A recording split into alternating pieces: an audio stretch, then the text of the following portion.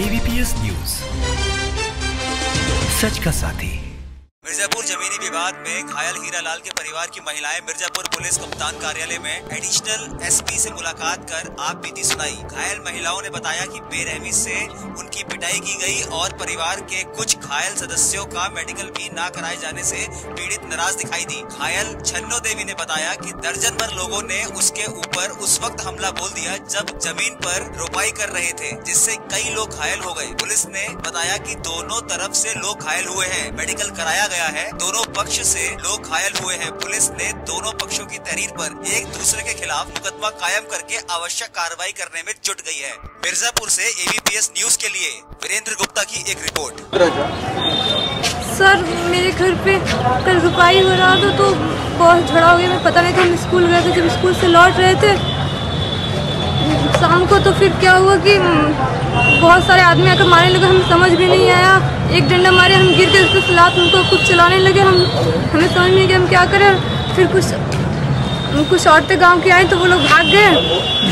तो क्या हुआ कि फिर वो कम से कम दस आदमी वहाँ पे थे। एक लड़की पे दस आदमी लगे हुए थे। उन सबका नाम था गरुड़ यादव। और क्या बात थी कि घर पे कोई रुपाई हो रहा था? और में बहुत सारा मारपीट हुआ सबको चोट आई। और क्या हुआ कि हम स्कूल गए थे हमें कुछ पता नहीं था कि क्या हम जब आए वापस आ रहे थे तो वो लोग लगे मारने। हमने चाहते कि हम कुछ हुई। तो हमने ना तो को सजा देगा शासन बच्ची हमने गर्मी को बंद कैला अमन के आदमी के घाव भी लगा तो अमन बंद भी कैले बना। थाने पर आप गई थी क्या हुआ? कुछ थाने पर हमारे कुछ नहीं हुआ। हमने एकदम बाहर खड़ा कर दिया हमने दिन भर आठ बजे गल कर हमने पाँच बजे चल के बाहर बैठे लगे हमने कोनो सुनवाइए नहीं था क्या मामला था? कि किस बात को लेकर लड़ाई हुआ था? धान रुपाने के लिए।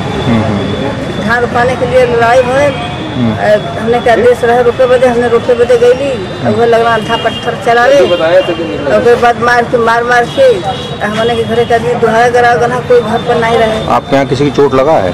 हमारे चोट हृदय लगा था सर में लगा था हाथी में लगा